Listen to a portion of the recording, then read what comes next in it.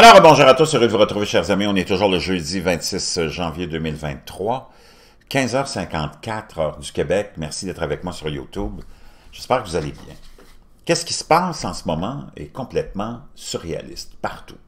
On, parle, on est au bord du, gouffre économique, au bord du gouffre euh, environnemental, au bord du gouffre climatique, au bord du gouffre financier, au bord du gouffre politique et au bord du gouffre aussi cosmique. Il n'y a plus rien qui pourrait nous surprendre. On est au, aussi au, bord d'une guerre nucléaire, d'un troisième conflit mondial. Il n'y a rien qui marche très très bien en ce moment.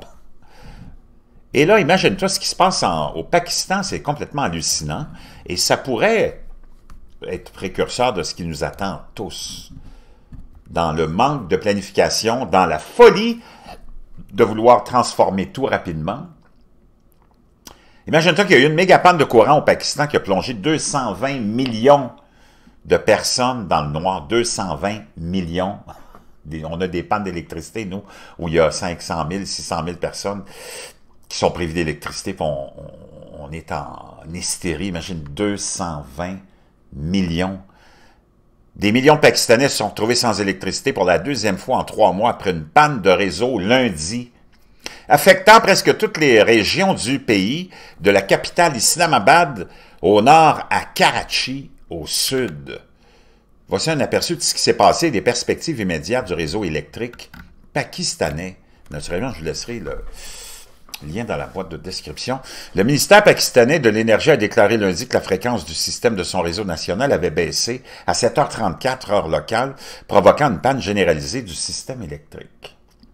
Faut pas que tu oublies qu'il y a des tempêtes géomagnétiques qui viennent frapper ces systèmes qui sont déjà fragiles et faibles, mais que tu pourrais en avoir un aperçu de ce que ça pourrait ressembler si on a une tempête géomagnétique de la force de celui de l'événement de Carrington de 1875 à peu près, là c'est ce qui pourrait nous attendre. En plus de toute la mauvaise planification, puis des réseaux défaillants partout, puis le fait que tu veuilles euh, t'éloigner du gaz, parce que beaucoup de ces centrales électriques fonctionnent au gaz, le nucléaire, le charbon, c'est la frénésie, c'est la folie. Attends-toi, vois, ce qui arrive là-bas, puis attends-toi à vivre la même chose, plutôt que tu le penses. OK? Le ministre de l'Énergie, M. Dash euh, a déclaré à Reuters que la panne avait été causée par une forte surtension dans le sud du pays qui a affecté l'ensemble du réseau.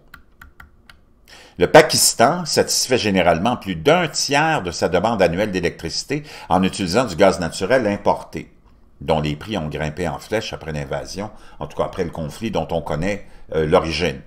Un retard récent dans la réception de fonds dans le cadre du programme du Fonds monétaire international a entraîné des difficultés pour le pays à acheter du carburant à l'étranger. Les expéditions de carburant constituent l'essentiel de la facture d'importation du Pakistan et les réserves de change actuelles couvrent à peine la valeur d'un mois d'importation. Le gouvernement a ordonné la fermeture des centres commerciaux des restaurants et des marchés à 20h30 tous les jours pour économiser l'énergie et augmenter les importations de mazout pour garder les lumières allumées dans les écoles, les hôpitaux et les usines du pays de 220 millions d'habitants. Donc, c'est la totalité du pays qui était dans le noir. Wow!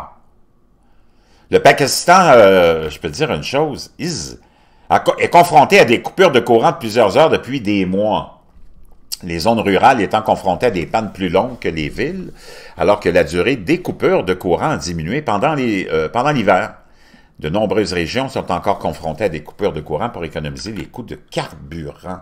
Une vague de chaleur intense au cours de l'été dernier, 2022, suivie de pénurie de gaz dans un contexte de flambée des prix mondiaux du gaz naturel, a entraîné des coupures de courant paralysées dans tout le pays.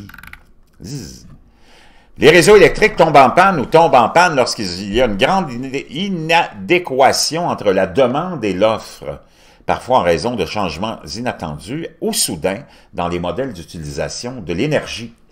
Dans les cas extrêmes, lorsque l'écart entre l'offre et la demande s'élargit au-delà d'un certain seuil, toutes les centrales sont débranchées du réseau, entraînant une panne d'électricité.